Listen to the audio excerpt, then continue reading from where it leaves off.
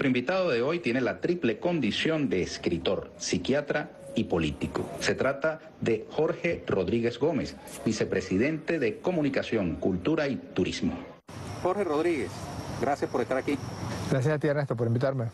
Contento de tenerte sano además, superaste el coronavirus. Sí, así es, esta pandemia que tiene en vilo a la humanidad entera. Curiosamente, cada comienzo de siglo aparece una enfermedad que asedia la forma de vida a la que estamos acostumbrados los humanos. Después se sabrá si para bien o para mal las consecuencias de, la nueva manera de afrontar la relación entre las personas, la relación eh, con la naturaleza y muchos otros aspectos relacionados con el COVID. Pero en este momento y en esta lucha que estamos llevando los venezolanos, igual que el mundo entero, pero especialmente en Venezuela hemos sido muy acuciosos, muy cuidadosos. El gobierno del presidente Maduro ha estado desde los primeros momentos de aparición de los primeros casos aquí en Venezuela, a diferencia de muchos otros países y muchos otros gobiernos, desde el primer momento hemos estado muy pendientes de abordar todos los elementos para afrontar, para detener, para paliar los efectos de aquellas personas infectadas y bueno, me tocó vivir la experiencia de la infección, afortunadamente con, síntomas relativamente leves y ya en estos momentos estoy completamente curado. Me voy a quitar el tapabocas haciendo, haciendo gala de la supuesta inmunidad, que no podemos confiarnos de ella, pero para poder responder con más comodidad a tus preguntas. Jorge, ¿cometiste alguna imprudencia o aún tomando las medidas preventivas estamos sujetos a la posibilidad de contagiarnos? Fíjate, nosotros tomábamos todas las medidas y casi todos los responsables de la Comisión Presidencial para el abordaje y el control del COVID teníamos todas las medidas, el distanciamiento social, el uso permanente del tapaboca, el lavado frecuente de las manos, el uso de alcohol con más de 65%, reducir al mínimo las reuniones presenciales, fomentar más el uso de las videollamadas, de las videoconferencias. Pero hay un hecho incontrovertible y es que si estás en la calle y nosotros necesariamente teníamos que estarlo, como es un virus con un potencial infeccioso muy grande, es un virus muy infectante, a diferencia de otros virus. Este virus es 10 veces más infectante, por ejemplo, que el virus de la influenza, que de por sí es muy infectante. Bueno, solamente por el hecho de que tuvieras que cumplir tus actividades cotidianas de trabajo, el riesgo era alto. ¿Ya tú estás negativo? Sí. Eh, el PCR? Sí, correcto. Ese es un criterio que manejamos aquí en Venezuela, es un criterio mucho más cuidadoso, más acucioso que el criterio de la Organización Mundial de la Salud, que señala que después de algunos días asintomáticos y con una prueba rápida negativa o incluso después de 14 días asintomáticos sin ni siquiera realizar prueba, se considera que una persona ha superado la infección por virus en Venezuela. Necesariamente para dar de alta a un paciente y para señalar que ha sido curado de la infección por coronavirus, tiene que hacerse una PCR de diagnóstico. Ok, y en este momento, si estás negativo, no eres un factor de contagio.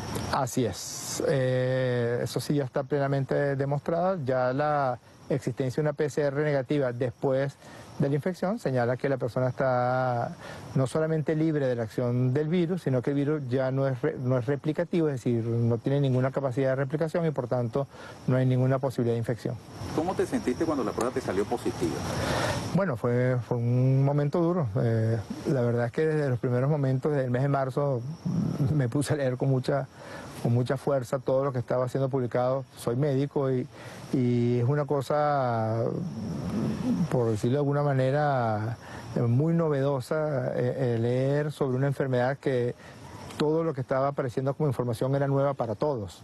Uno generalmente, si tú vas a leer cómo es la aparición de una neumonía, ya hay eh, varias decenas de años, centenas de años donde personas han escrito sobre los mecanismos de infección de una neumonía, eh, bacteriana, viral, etc. Fíjate que el COVID se pensaba que al principio era una neumonía viral, es decir, una infección de los pulmones por el virus. Después se notó que no, que es mucho más una enfermedad inflamatoria, una enfermedad del sistema inmunológico, es una enfermedad del endotelio, que son las, las células de los pequeños vasos sanguíneos, una enfermedad más, más eh, restrictiva de los pulmones que obstructiva, que es, como generalmente se presentan las infecciones respiratorias, sean virales o sean bacterianas. Entonces todo ese proceso de ir leyendo y leyendo y leyendo y sobre todo irnos dando cuenta que conocíamos muchísimo menos, conocíamos nada de la enfermedad.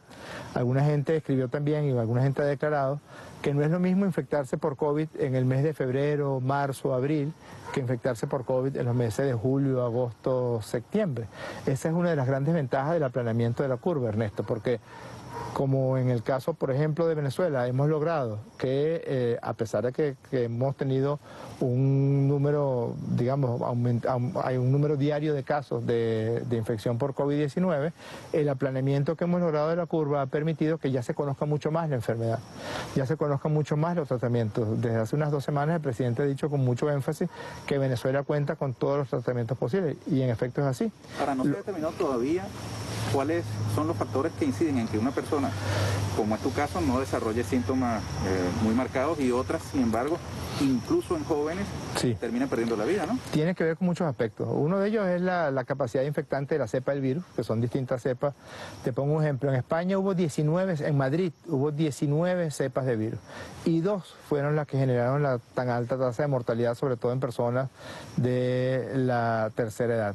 Nosotros sospechamos que la cepa que vino de Colombia, que entró por el corredor eh, de Maicao hacia la Guajira colombiana, eh, Guajira venezolana y el estado Zulia es más infectante que las cepas de virus que se presentaron en el estado Miranda, en el estado La Guaira, en Distrito Capital. Pareciera que es una cepa, si no es más virulenta en cuanto a su acción, parecía mucho más infectante que las cepas que se presentaron en, los estados centrales. Es un elemento.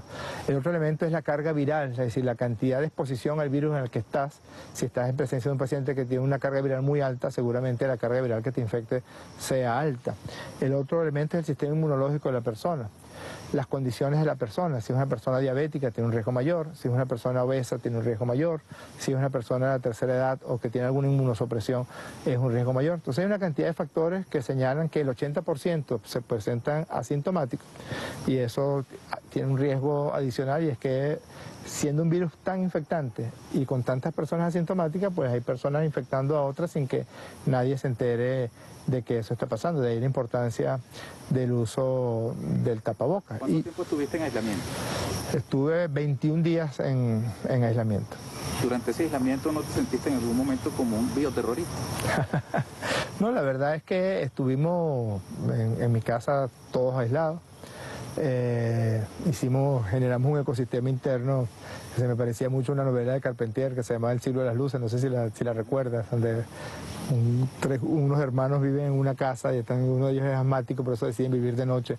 Una novela muy bella de, de Alejo Carpentier. Entonces generamos un ecosistema dentro de la casa, por supuesto ahora ayudado por, por las redes sociales. Yo no quiero pensar cómo fue la, llamada, la mal llamada gripe española del año de 1918, del año 18 del siglo XX, donde no habían las formas de comunicación con las que contamos ahora, donde a pesar del aislamiento podíamos tener algún tipo de contacto con el mundo exterior. La oposición ha cuestionado al gobierno del presidente Nicolás Maduro el uso del término bioterrorista para designar a personas que han venido de fuera del país y han contaminado Esa es una campaña sucia, tan parecida a todas las campañas sucias que han tratado de emprender contra Venezuela. Lo cierto es que tenían un plan y el plan era que Venezuela iba a sucumbir frente al COVID-19. Se frotaban las manos en una especie de deseo macabro de destrucción, de, que Venezuela eh, desistiera frente a la existencia de este virus. Decían que no estábamos en capacidad, que no íbamos a poder atender a los pacientes y resultó exactamente lo contrario. Mientras, por ejemplo, Donald Trump desdeñó, porque desde el mismo mes de enero, desde los primeros días de enero, Trump recibió un informe de sus científicos que fueron a Wuhan invitados por la Organización Mundial de la Salud para que evaluaran el desarrollo de la epidemia en Wuhan.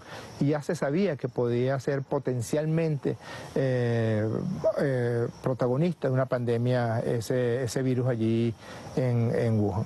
Eh, y desdeñaron eso y las primeras medidas las toma Trump ya a, finales de febrero, a mediados de marzo, cuando ya la epidemia estaba asolando, por ejemplo, el estado de Nueva York en los Estados Unidos. El caso de Brasil, que es uno de los casos más dantescos de lo que hemos vivido en el continente americano y me atrevo a decir que en el mundo entero. El caso de Ecuador, donde el presidente de Ecuador se escondió, dejó, dejó de comunicarse con el pueblo de Ecuador y por vía de la omisión permitió que decenas de miles de personas fallecieran en las calles de Guayaquil. En Venezuela fue lo contrario. En Venezuela fue... que aquí hubiese un colapso. Claro. Hoy, al día de hoy, ¿Qué tan cerca, qué tan lejos estamos de un Guayaquil aquí en Venezuela? No, absolutamente, pues absolutamente lejos. Al día de hoy, si nosotros hubiéramos tenido la misma conducta que Jair Bolsonaro, o la misma conducta que Lenín Moreno, si el presidente de Maduro hubiera actuado igual que Iván Duque o que Donald Trump, Venezuela tendría no menos de 10.000 muertos por COVID-19 al día de hoy, quizás muchísimos más. Venezuela tendría no menos de 700.000 personas infectadas al día de hoy. Si tú revisas las cifras y nos comparas, hay un número que a mí me gusta mucho utilizar que es infectados por millón de habitantes, fallecidos por millón de habitantes. Cada, cada persona que fallece por COVID-19 es una tragedia, es un drama para su familia, para sus amigos, para sus seres queridos. Nosotros hemos vivido en carne propia que personas muy cercanas a nosotros, como es el caso de nuestro hermano Darío Viva o de Manuel Dunn, una persona muy joven que falleció hace muy poco, pues sucumbiera a, la acción de, del COVID-19. Es muy doloroso, es muy triste, pero a los efectos de la estadística, que generalmente son más frías, que generalmente son más objetivas, Venezuela tiene una de las, de las mortalidades por millón de habitantes más bajas del mundo entero y sin duda de las más bajas del continente americano. en medio del bloqueo económico estamos en condiciones de contener el fenómeno para que allí se mantenga. Afortunadamente, afortunadamente nos preparamos. Afortunadamente el presidente Maduro previendo que nos iba a costar mucho más que a otros, porque teníamos, estamos sometidos al más brutal bloqueo que haya conocido este continente. Yo creo que ni siquiera Cuba, me atrevo a decirlo, ni siquiera Cuba durante el llamado periodo especial y durante eh, la llamada crisis de los misiles en los años 60 vivió un bloqueo tan artero, porque incluso en aquella oportunidad se permitía que entraran alimentos y que entrara medicamentos y que entrara combustible para la población civil. En Venezuela ni eso se permite, barcos con medicamentos, barcos con insumos para atender a los pacientes con COVID-19, barcos con alimentos, son repelidos o son bloqueados o son hostigados por la acción del gobierno de Donald Trump. Y en esas condiciones, el presidente Maduro se planteó, vamos a prepararnos de una manera mucho más especializada, de una manera mucho más expedita, más acuciosa de cómo se han preparado otros países. Por eso teníamos preparadas más de 23.000 camas de hospitalización. Teníamos preparadas más de 4.000 camas de terapia intensiva la existencia de los respiradores, la adquisición de millones de tapabocas para que las personas pudieran tener el mecanismo más importante de control de, la infección persona a persona, como es el uso del tapaboca. Los medicamentos, tenemos desde la ivermectina, que es de los medicamentos que ha demostrado tener una efectividad de detener eh, la acción del virus, o incluso si resulta infectado, como es mi caso, yo tomé ivermectina, si resultas infectado, puedas tener síntomas más leves que si no lo tomaras, porque pareciera que ayuda a controlar la carga viral después de que, de que, eres infectado. Eh, los, esteroides con los que Venezuela cuenta, los antibióticos con los que Venezuela cuenta, eh, el interferón, los antivirales que son muy costosos, como es el caso del Rendecivir, que lo utilizamos en pacientes moderados y en pacientes severos. Terapias experimentales que han demostrado en el mundo entero ser muy efectivas, como es el caso de la terapia de ozono. Todos este espectros de, de terapéutica, de camas de hospitalización, de diagnóstico precoz, más de millón, ya creo que ya habíamos pasado los dos millones de pruebas eh, en, Venezuela, las llamadas pruebas rápidas, más la existencia de PCR. Eh, hay países, como es el caso de Colombia, Colombia llega a tener 200.000 pruebas represadas porque no han tenido capacidad de, hacer el diagnóstico porque se le dañan las máquinas de PCR, etc. Es decir, que nos preparamos a tiempo y a prepararnos a tiempo creo que hemos estado en capacidad de atender a todos los pacientes y no es que le decimos al paciente váyase para su casa o quédese en su casa y si se siente peor avísenos, no, nosotros estamos buscando a los pacientes en sus casas, estamos atendiendo a los pacientes desde los que están asintomáticos, que, que pueden estar en sitios especialmente dotados para atenderlos, hasta aquellos pacientes que tienen síntomas leves, moderados o severos. Y creo que eso ha sido el secreto. Fíjate que otra cosa, otro número importante que nadie dice, es que Venezuela tiene un número muy importante de pacientes recuperados. Tú puedes reportar 40.000 pacientes en este momento, pero resulta que de esos 40.000 pacientes activos realmente son 8.000. Es decir, que es un número bastante manejable a los efectos del sistema de salud de Venezuela. Ahora, el tema de las cifras siempre es polémico y en una sociedad como la venezolana, sometida a una extrema polarización, más. Hay gente que no cree en las cifras. Hay gente que piensa que el fenómeno es mucho más grande que el Sin embargo, en la práctica también hay un relajamiento de las medidas de protección. Cada vez más preocupante cuando ves personas sin el tapaboca o en fiestas o en lugares públicos sin distancia mínima. ¿Cómo eh, acercar eso? Eso último tiene un nombre, se llama la paradoja de la prevención.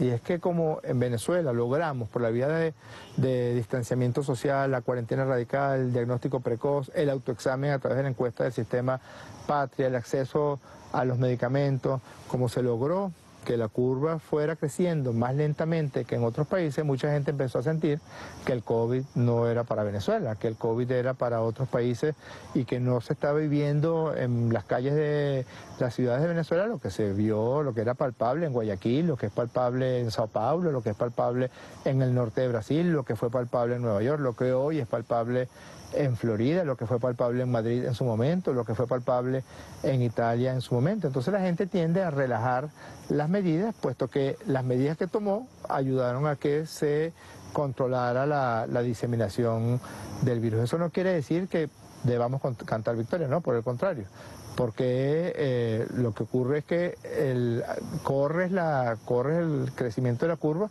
pero la curva puede seguir creciendo y si interrumpen las medidas de, que te ayudaron a controlar en un primer momento, pues las consecuencias pueden ser mucho peores. Pero hay una cosa muy desagradable, un ejemplo muy desagradable de decir, Ernesto, y me atrevo a hacerlo. Porque eh, quizás tú puedas, y nosotros hemos sido muy cuidadosos, más que en otros países, hay países, por ejemplo, Francia, por ejemplo, si una persona fallece fuera del hospital, y falleció por COVID seguramente, pero no llegó al hospital para que le diagnosticaran el COVID y dijeran murió por COVID, no es registrada como una persona fallecida por COVID. En España igual. En Venezuela, toda persona que fallece por COVID, sea sospecha o no, haya habido el diagnóstico con PCR o no, se eh, asume que es una mortalidad por COVID-19. Pero resulta que Venezuela tiene una de las mortalidades más bajas por COVID del mundo entero. Y eso no se puede ocultar. Perdóname que haga un ejemplo macabro. Eh, por más que Lenín Moreno quería, no pudo ocultar la mortandad de gente en las calles de Guayaquil. Igual en Lima, Lima tiene la mortalidad por millón de habitantes más alta de todo el continente americano. Lo que pasa es que como es un gobierno de derecha, es un gobierno que está arrodillado a la administración de Donald Trump, entonces nadie habla de Perú, nadie habla de Chile, que tiene de los casos por millón de habitantes más altos y ha sido un desastre en el manejo de la pandemia. Ese es otro elemento muy importante. Ahora sí es verdad que en lo real, que en lo práctico, se están confrontando dos modelos. El modelo del egoísmo, el modelo de la medicina privada, el modelo de la selección natural mal entendida, el modelo de la teoría neoliberal de que, solo sobreviven los más aptos, contra el modelo de la solidaridad que practica Venezuela, el modelo del sistema público de salud, 99% de los pacientes han sido atendidos en el Sistema Público Nacional de Salud de Venezuela, el 100% de los medicamentos se administra gratuitamente a todos los pacientes por COVID, el 100% de las pruebas diagnósticas son completamente gratuitas en Venezuela. Y se nota, se demuestra que este modelo solidario humano es muchísimo más eficiente para enfrentar enfermedades tan graves como el COVID que el modelo del egoísmo. Porque mientras Venezuela, Cuba, China, Vietnam han tenido éxito en el manejo de la pandemia, Estados Unidos ha sucumbido a el desastre que significó Nueva York y el desastre que ha significado los más de 180 mil muertos en los Estados Unidos, Brasil, Perú, Ecuador, Chile, se las han visto muy negras con un sistema de salud desmantelado. ¿Qué piensas de las condiciones en que tus colegas médicos y trabajadores de la salud tienen que, eh, digamos, enfrentar para dar la batalla contra el coronavirus? Fíjate, el gobierno, el presidente ha estado muy cuidadoso de, de las personas, de los profesionales de la salud. Hemos tenido, bueno, yo tengo un caso muy doloroso que tú conoces muy bien también, el doctor Rangel, el director del hospital de Coche, un verdadero apóstol de la, de la salud que no se movió del hospital de Coche desde antes que se fuera inaugurado y allí se mantuvo atendiendo a los pacientes por COVID. Lo que te decía antes la carga viral puede haber influido en que él no se movió de allí y siempre estuvo presente y siempre estuvo pendiente. Hombre joven, ¿no? Muy joven, sí, de 52 años. los mecanismos de, bioseguridad se garantizan para los médicos que atienden pacientes por COVID.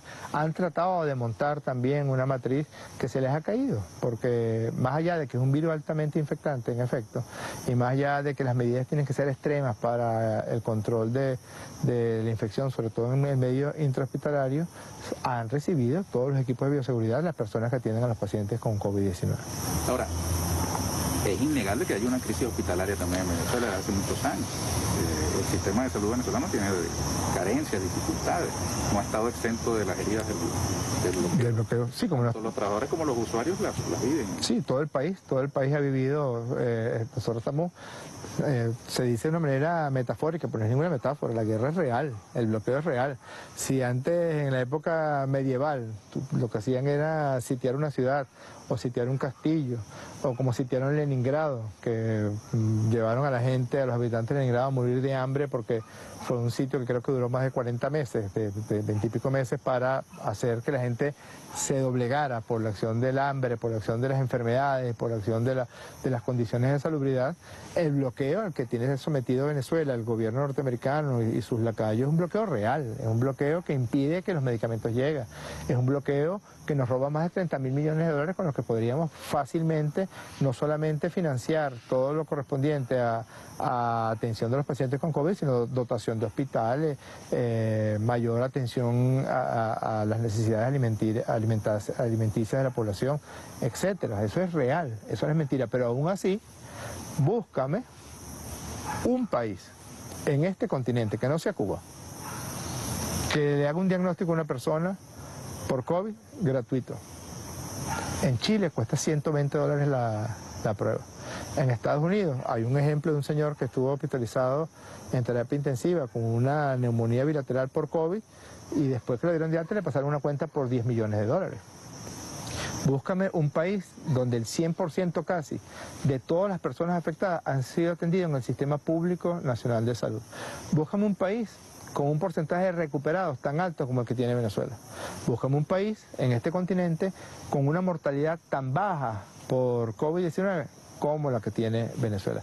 Buscamos un país en este continente donde el rendecibir, que es tan costoso, lo reciben los pacientes gratuitamente. Igual la caletra, que es otro antiviral costoso, el interferón, los esteroides, la dexametasona, el acetaminofén, la ivermectina, las terapias alternativas, etcétera.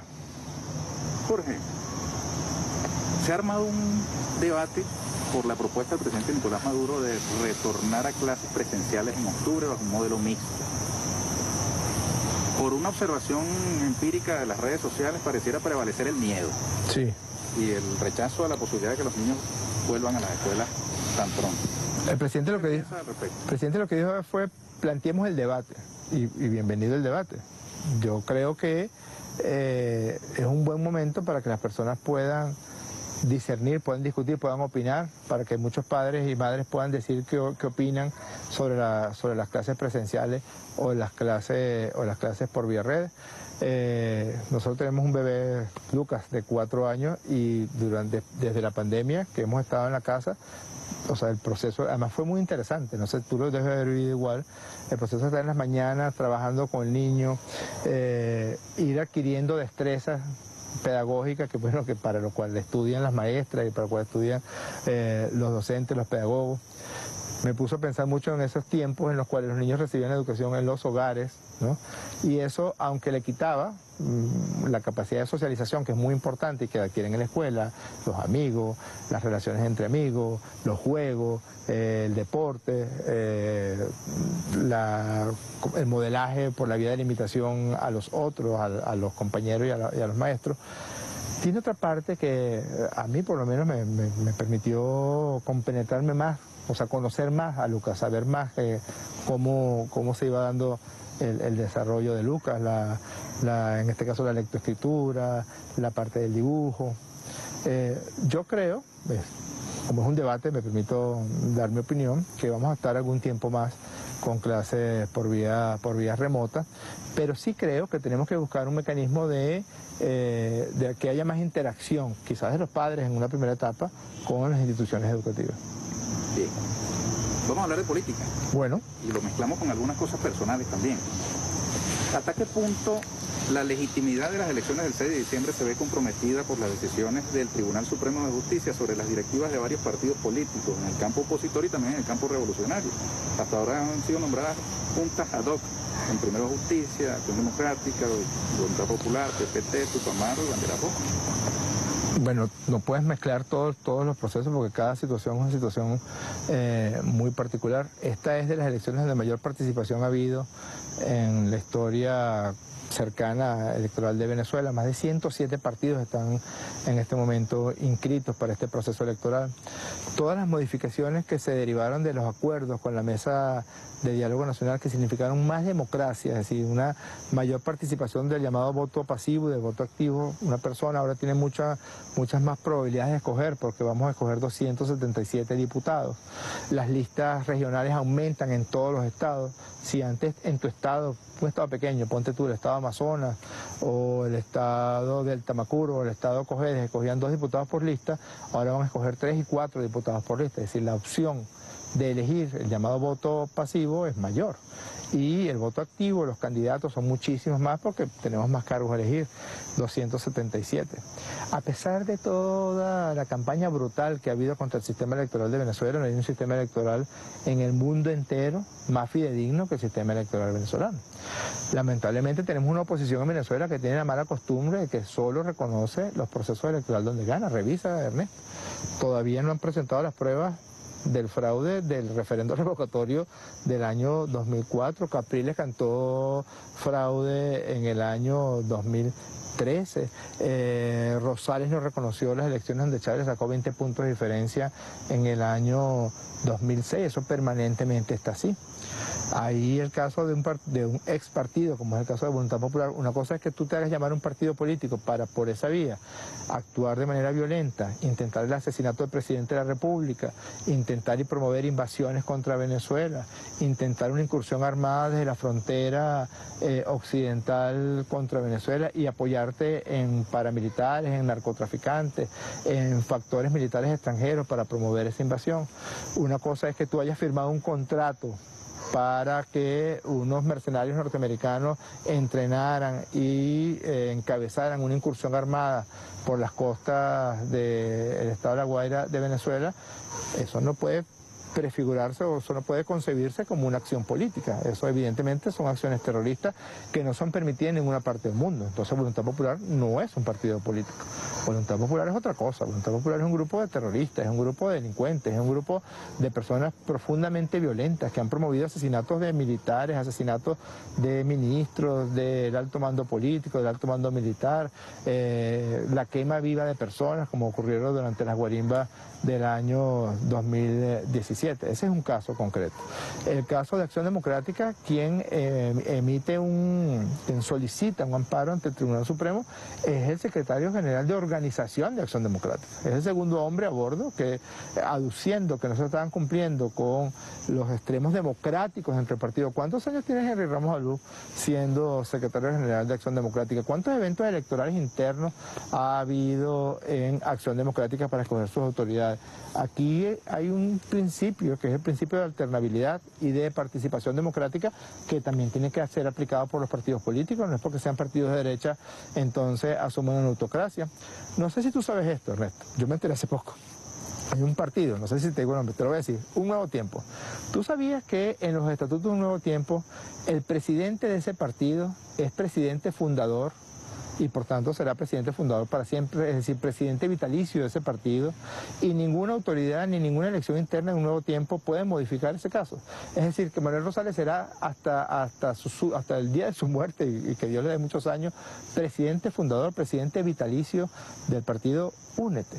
Otro tanto ocurrió con los otros partidos, pero aún así, aún así, todos los esfuerzos que se han venido llevando adelante algunos que ya son públicos, otros que se mantienen eh, de manera privada, han conducido a qué? A garantías electorales como nunca antes en la historia electoral de Venezuela. han conducido a que se haya aumentado el número de diputados y que se haya aumentado, la, haya aumentado la capacidad de participación de los factores políticos dentro de la Asamblea Nacional.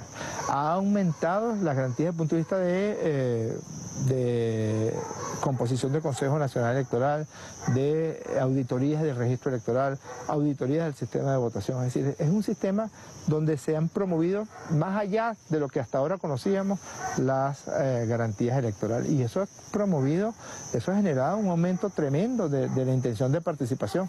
Y ojalá, ojalá nosotros vayamos a este evento electoral del próximo 6 de diciembre con una tan amplia gama de opciones para que el votante se sienta eh, representado en algunas de esas opciones, sea cual sea el deseo de votar que tenga. ¿No crees que se pueda repetir el fenómeno del 2015, que mediante el voto castigo o la abstención castigo el chavismo perdió la asamblea? Nosotros vamos a luchar para ganar denodadamente las elecciones del próximo 6 de diciembre. Creo que ha sido tal el desastre de la gestión de la derecha en la Asamblea Nacional. Revisa un poco.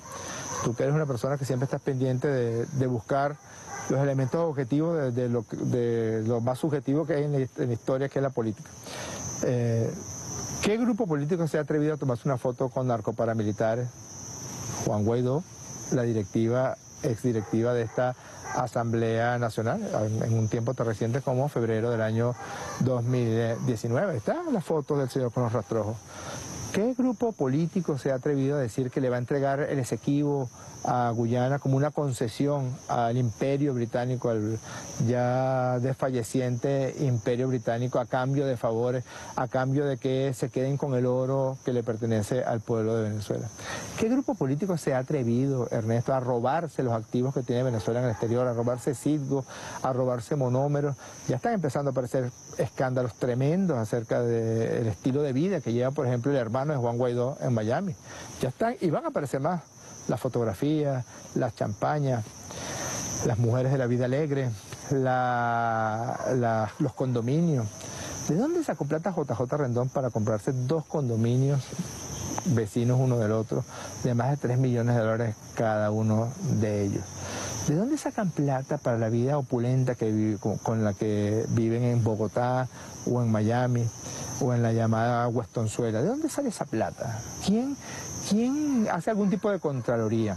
¿Por qué están renunciando, comillas, los supuestos directivos del Banco Central, el, supuesto presidente? O sea que Guaidó nombró juntas ad hoc, no nombró ministro de Salud porque eso a él no le importa, no nombró ministro de Cultura porque eso la verdad es que no la tiene, pero sí nombró donde estaba el billete. ¿Para qué? Para ver de qué manera, bajo cuál subterfugio hacerse con todo el dinero que le pertenece a todos los venezolanos. ¿Tú dirías entonces que habrá un voto castigo a Guaidó?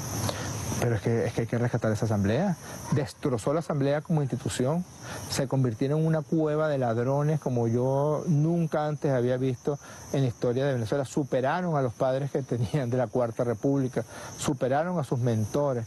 Nunca se había visto lo que pasó, por ejemplo, con Monómero, eh, Ernesto. Hay grabaciones de, de gente del entorno de Guaidó señalando que hay un mil millones de dólares por allí que están papayitas, vamos a decir si nos podemos, nos podemos hacer con ellos.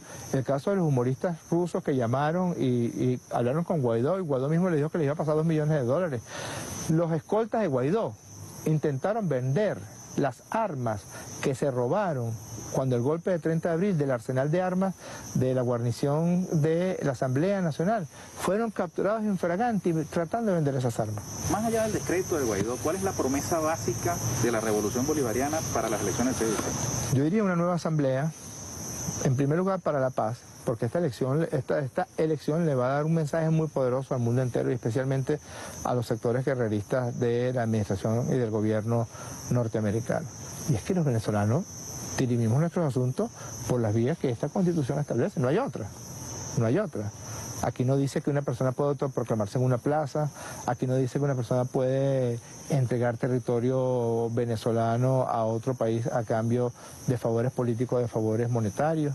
Aquí no dice que eh, un supuesto presidente encargado le puede entregar una empresa como Citgo a la administración norteamericana. Eso tú lo sabes. Los dineros de Citgo fueron trasladados de un banco privado, de unas cuentas privadas que tenía Citgo en un banco norteamericano, a la Reserva Federal de los Estados Unidos. Es decir, recursos recursos de una empresa venezolana están en las cuentas de la Reserva Federal de los Estados Unidos. Entonces se necesita un cambio para poder recuperar la institucionalidad de la Asamblea Nacional, para que pueda cumplir con su función, que es la función de legislar, de Contraloría, de nombramiento de los poderes públicos que son nombrados de manera secundaria. Así que, en primer lugar, un mensaje para la paz. En segundo lugar, la necesidad de sentar las bases ya del Estado moderno, porque después de esta crisis que hemos vivido, de esta tremenda agresión que ha vivido el pueblo de Venezuela, yo estoy seguro que el pueblo de Venezuela está pensando en las bases para el futuro, en sentar un, Estado más eficiente, un Estado más ágil, más moderno, con menos burocracia, un Estado que, que, ataque duramente la corrupción, un Estado que preserve de manera absoluta los derechos humanos de las personas. Tú eres un fanático de las encuestas. ¿Verdad? Sí. Consumidor compulsivo de encuestas. Y de Big Data. Y esas encuestas no te indican que más que el tema político, en las preocupaciones inmediatas de la gente está el tema económico. Sí, el tema económico es sumamente importante, pero yo digo que más que el tema, el tema económico es el tema de la, de la cotidianidad, de la vida cotidiana de las personas, a la que tenemos que darle respuesta y a la que hemos estado dando respuesta. Porque eh, imagínate un sistema neoliberal, en un gobierno neoliberal, que un país llegue y, sea agredido como ha sido agredido eh, Venezuela por los Estados Unidos de Norteamérica. Imagínate un Venezuela en estas circunstancias sin CLAP. Imagínate Venezuela en estas circunstancias de COVID sin sistema barrio adentro. Imagínate Venezuela en estas circunstancias de bloqueo y de agresión sin todo el despliegue que se ha hecho para atender a la población por el COVID-19. Imagínate una Venezuela sin universidades, sin Ministerio de Cultura, sin Ministerio de Salud, que fue lo que hizo Macri apenas llegó al gobierno en la Argentina, una Venezuela con un presidente como Bolsonaro que dice que la cultura, tal cual, como, como lo decían los nazis, que es una mala palabra, etcétera, etcétera. Imaginas, nada más imaginemos, por reducción al absurdo, lo que significaría un gobierno de derecha o de ultraderecha en Venezuela. Entonces, claro que tenemos que hacer mucho más, claro que podemos hacer mucho más. Claro que el mensaje que va a recibir el mundo es que Venezuela merece, merece ser respetada, que Venezuela merece eh, acceder a sus recursos como accede cualquier país del mundo.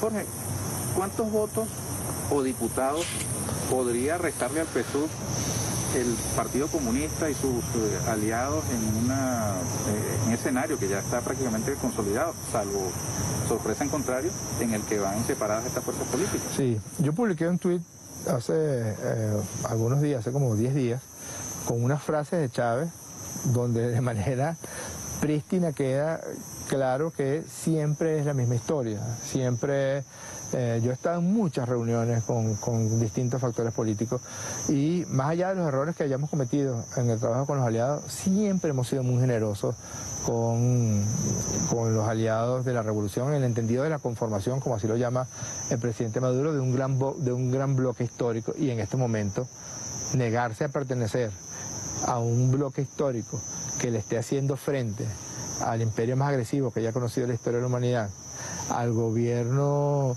más supremacista que haya conocido la historia de los Estados Unidos de Norteamérica. Y mira que los ha tenido.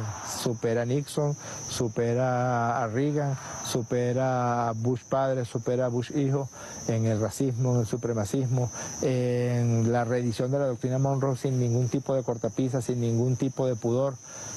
Negarse por cálculos arteros, por buscar una curul más, por buscar pescar en río revuelto, que no es primera vez que lo hacen. ¿Cuántas veces algunos de estos partidos, que ahora son los adalides de la división, cuántas veces no apoyaron a un candidato del PSUV que no fue favorecido en la, en la campaña interna, sino que fue favorecido otro, y entonces estos de manera oportunista eh, trataron de restarle votos al PSUV. Y al final, ¿qué terminó pasando? Que la gente no es tonta, la gente sabe a qué nos estamos enfrentando. La gente sabe quién es el verdadero enemigo. Que Figuera o Uscati, que piensen una cosa diferente, bueno, ya ellos. La historia se encargará de pasarle la cuenta. La historia se encargará de demostrarles dónde estaba la verdad. ¿Quién es el que está enfrentado con el hegemón imperial de manera determinante en este momento? Nicolás Maduro. ¿A quién ha intentado matar en varias oportunidades? Una de ellas, de un modo que casi logran asesinar al presidente, a su esposa, al alto mando militar, al alto mando político. Nicolás Maduro. ¿Quién ha sido asediado? ¿Quién ha sido perseguido? ¿Por quién han ha puesto presos a la, cabeza? De eh, Figuera, de Oscar, de Nicolás Maduro. ¿Por qué? Porque somos un ejemplo de dignidad, de decencia, de honestidad, de rectitud, de apego y lealtad a nuestros valores. ¿Qué hubiera pasado si después del terrible fallecimiento del comandante Chávez, entonces Maduro hubiera abandonado las banderas del chavismo y hubiera abandonado las banderas del socialismo venezolano, pues estaríamos ahorita en la misma condición de genuflexión de Duque o de Vizcarra o de, o de Bolsonaro o de Lenín Moreno. No, Maduro se mantuvo firme y por eso es perseguido y por eso la revolución bolivariana es perseguida. ¿Cómo se le ocurre? ¿Cuántos votos o diputados? Ya te lo voy a decir, ya te lo voy a decir, ya te lo voy a decir. ¿Cómo se le ocurre a un factor político que se dice izquierda, que se dice revolucionario, lanzarse en una especie de quinta columna contra quienes estamos luchando contra, ya la describí, la administración de Donald Trump? Y si quieres los números, dudo que saquen un diputado. Y si eso es así, ¿por qué tantos llamados a la unidad? Porque, ese peso tan porque el, elemento cualitativo sí es importante. La necesidad de conformar un gran bloque histórico de quienes nos oponemos con la vida al imperialismo norteamericano, nos oponemos con la vida al neoliberalismo como forma de asumir las relaciones políticas, sociales y económicas de un país, nos oponemos con la vida a la acción de estos violentos, pues bueno, es fundamental que se conforme un gran bloque histórico, como en efecto se conformó si tú revisas, la inmensa mayoría de los partidos de Gran Pueblo Patriótico estamos, vamos ya en alianza perfecta para las elecciones. Jorge, te voy a pedir brevedad en la respuesta porque ya estamos cortos de tiempo. ¿Te imaginas a Guaidó inscribiendo su candidatura a diputado? Priceless. ¿Y a Enrique Capriles? Interpreto tu silencio. El presidente Maduro te encomendó un diálogo con la conferencia episcopal venezolana. ¿Hasta dónde puede llegar ese diálogo? ¿Tiene sentido hablar con los Yo, creo que más allá de que los obispos y que la conferencia episcopal tiene una posición política clara a favor de, las posturas de derecha y de las posturas de la oposición venezolana, ellos han emitido un muy interesante punto de vista acerca de la necesidad de participar en las elecciones. En ese sentido, estamos de acuerdo. Muy bien. En la mesa de diálogo nacional, participan al menos tres dirigentes políticos que yo he visto que vienen de Acción Democrática. Timoteo Zambrano, Claudio Fermín y Rafael Marinján. Ese era el partido que era gobierno en Venezuela cuando asesinaron a tu padre. ¿Tú no abrigas rencor cuando los ves? No, francamente no. Del Cieloína a mi hermana, en varios aportes, claro, la canalla trata de tergiversar sus palabras. Menciona mucho una canción de de Luis Enrique Mejía Godoy, que está basado en un testimonio de Tomás Borges. Tú la conoces muy bien, se llama Mi venganza personal. Mi venganza personal será el derecho de tus hijos a la escuela y a las flores. Ese es el testimonio de Borges frente al torturador de su esposa y de sus hijos. Y lo encontró y en lugar de, tomarse justa venganza, le dijo yo, mi venganza personal será esta. Y de ahí sacó Luis Mejía Godoy esa canción. Yo la tengo siempre presente.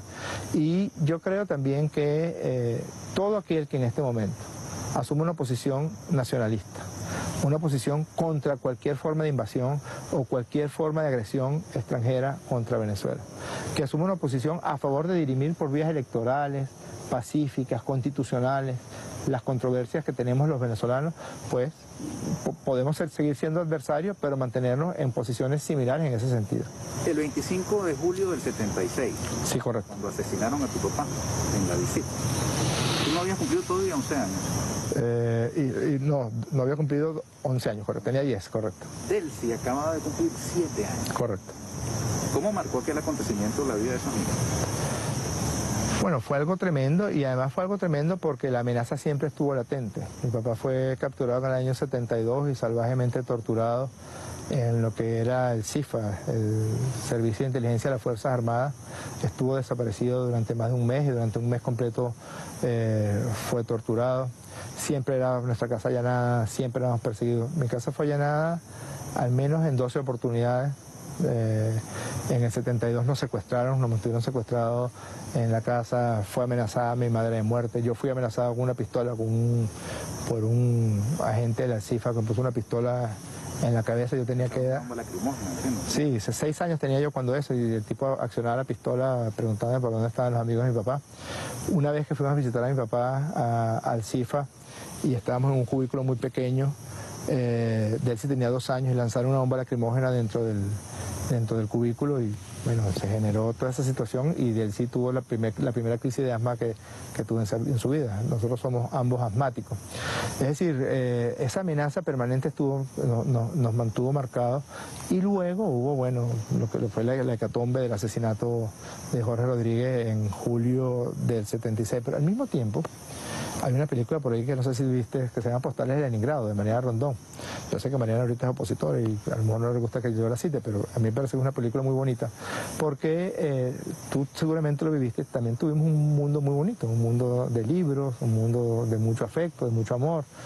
De, de, mucha fantasía, porque como, como la utopía vivía en nuestra casa, creo que la utopía se aposentó en nuestras almas para siempre. ¿Tú entendías lo que pasaba? Sí, bueno, en cierto momento sí, mi papá era muy claro, siempre explicaba, siempre nos decía, si les preguntan esto, sepa que tienen que contestar esto. Eh, nos habló lo del policía malo, el policía bueno, y pasó, Ernesto, en el 72, cuando, cuando lo capturan y lo torturan, había, me acuerdo yo, un policía gordito, y el gordito venía, nos traía refresco, nos traía dulce, en el secuestro en el que estábamos en nuestra propia casa. Nos traía, un día nos trajo unos, unas hojas y unos creyones y nos dijo, y nos dijo, ay, pinte, ¿quieren pintar? Nosotros sí, queremos pintar. Bueno, pinta a, Carmelo Laborí, pinta al Cabezón Yajure, los amigos de mi papá. Y en eso mi mamá está viendo eso y me arranca la página y la rompe y me dice, acuérdate lo que te dijo tu papá. Entonces, que... ¿Tú tienes eso muy presente en tu día a día? Sí, sí, cómo no. ¿Cómo te sientes tú cuando en el gobierno del que tú formas parte, eres vicepresidente de, Comunicación, Cultura y Turismo? Se presentan denuncias de violación de derechos humanos por parte de cuerpos de seguridad del Estado, incluso eh, asesinatos. Recientemente asesinaron en el Zulia a unos compañeros de comunicadores populares. La diferencia es cuando un gobierno tiene una práctica sistemática de violación de los derechos humanos, como eran los gobiernos de Acción Democrática y más de 4.000 personas fueron asesinadas, desaparecidas, torturadas. Eh, la tortura era un hecho sistemático pues, de, todos los militantes de izquierda. Tu padre lo vivió, mi padre lo vivió, nuestras familias eh, lo vivieron, tus hermanos cuando eran dirigentes estudiantiles lo vivieron, yo cuando fui dirigente estudiantil lo viví. Y una cosa muy diferente es cuando un determinado funcionario o, unos determinados funcionarios cometen acciones que son delitos, que son acciones brutales, que son acciones que esta constitución que preserva mucho más los derechos humanos que lo que lo hacía la constitución del 61, protege y preserva los derechos humanos de los ciudadanos. Yo me regocijo cada vez que se presente una situación de ese tipo y de inmediato el Ministerio Público actúa hoy mismo... El, de que actúe el De que actúe el Ministerio Público, me regocijo de que... Eh, la primera sensación es de profundo dolor, mi y de, y, de, y de rechazo absoluto, como rechazamos todos los que... Porque una gran ventaja que tiene el gobierno de Maduro, que tiene el gobierno revolucionario antes el de Chávez, es que la gran mayoría de los que estamos ahorita en posiciones de responsabilidad fuimos víctimas y fuimos perseguidos en la Cuarta República y no quisiéramos eso para la realidad de la Venezuela actual. Y si algo hay en Venezuela en este momento es libertad, para a veces hasta el punto de que estos grupos, como te hablaba antes de Voluntad Popular, han utilizado las amplias libertades que proporciona la Constitución para violar la Constitución. Jorge, tú fuiste vicepresidente ejecutivo de Chávez. Sí, en 2007 y de él, si tu hermana menor lo es de Nicolás Maduro. ¿Qué extrañas de los tiempos en que nadie en tu casa tenía relación con el poder político? Eh, la será la anomia, será la el anonimato. El anonimato, será como cuando era cómo es, cómo es el libro de, García Márquez, cuando era feliz y indocumentado era. Quizás es. Sí. Para finalizar, tú viviste el Caracazo. Sí. ¿Eras presidente de la FCU? Era presidente del Centro de Medicina. Yo fui electo presidente de la FCU, Caracazo fue en febrero del 89 y yo fui electo en diciembre del 89. ¿Por qué tú crees que en Venezuela no se ha presentado un Caracazo con las condiciones materiales que nos ha tocado vivir en estos años, que son incluso más rudas que las que hubo en Mira, esto, esto, no es un eufemismo, es que los que se alzaron en el están ahorita en el, ejercicio del poder real, porque... Eh, si hay un país donde la democracia real, participativa, del día a día se practica, ese país es Venezuela. Mucha gente dice, pero, pero ¿cómo han podido con la pandemia? Bueno, porque en cada calle hay un jefe de calle, eh, se distribuyen los clubs. Hay países que intentaron, Estados Unidos ahora mismo está intentando distribuir alimentos con un mecanismo similar de los clubs y no ha podido porque no tiene el tramado social suficiente necesario para poder llegar desde el alto gobierno hasta la vivienda de aquellas personas que, que lo necesitan. Los consejos comunales, eh, en el caso del partido nuestro es un partido profundamente celular, con presencia en cada calle, con presencia en cada cuadra, con presencia en cada, en cada, en cada sector de, de los distintos sectores que hacen vida política y social en Venezuela.